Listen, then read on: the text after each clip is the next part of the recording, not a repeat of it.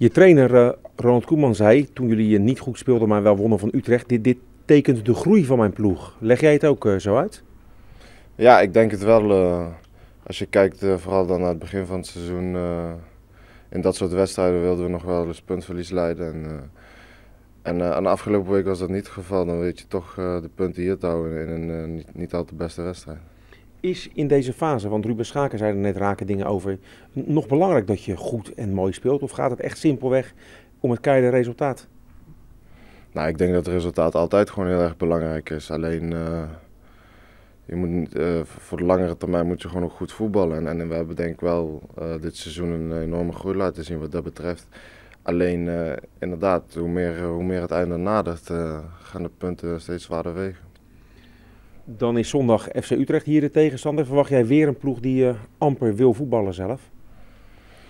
Ja, ik, uh, ik denk dat, uh, dat Utrecht inderdaad niemand het niet open zal gooien hier.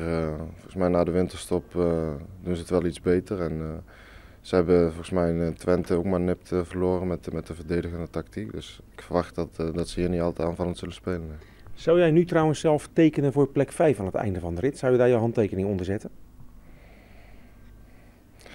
Nou, kijk, dat, dat is wel de doelstelling. Alleen er zijn nog tien wedstrijden te gaan en, en we moeten gewoon het maximale uithalen. En, um, en, daar moeten we voor gaan, dus om daar nou per se voor te gaan tekenen. Maar vinden jullie dan echt minder dan, dan de ploegen die uh, nu boven jullie staan? Nou, niet zozeer en zeker niet in de onderlinge wedstrijden. Alleen als het na twee derde van de competitie uh,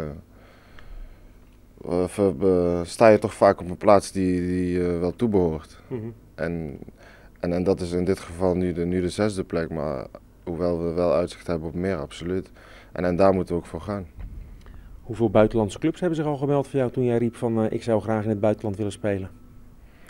Nou ja, wat dat betreft is, het nog, is er nog niks concreet. En wat ik eerder al heb aangegeven, ik probeer nu vooral met de focus op op de wedstrijden die er nog zijn uh, en uh, wat daarna gaat komen, dat, uh, dat is voor later.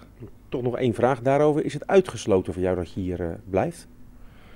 Nee, nee, ik heb, ik, heb, ik heb Feyenoord wat dat betreft nooit uitgesloten.